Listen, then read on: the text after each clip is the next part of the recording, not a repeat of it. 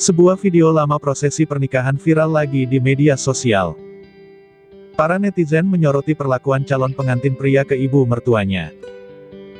Dalam rekaman prosesi pernikahan yang diunggah oleh akun TikTok Imasaan Ubudiah, Minggu, tanggal 21 Februari. Menceritakan suasana kedatangan rombongan calon pengantin pria ke rumah pengantin wanita.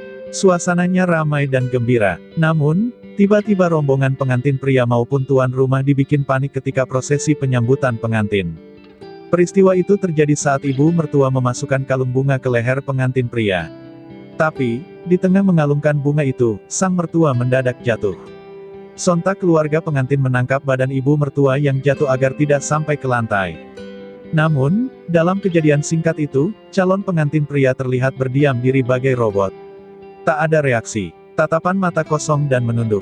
Bahkan kedua tangannya terlepas lunglai tanpa gerakan apa pun atas kejadian di depannya. Itulah yang menjadi sorotan netizen alias salah fokus. Dari akun ini tidak ada caption dan keterangan kejadian di daerah mana.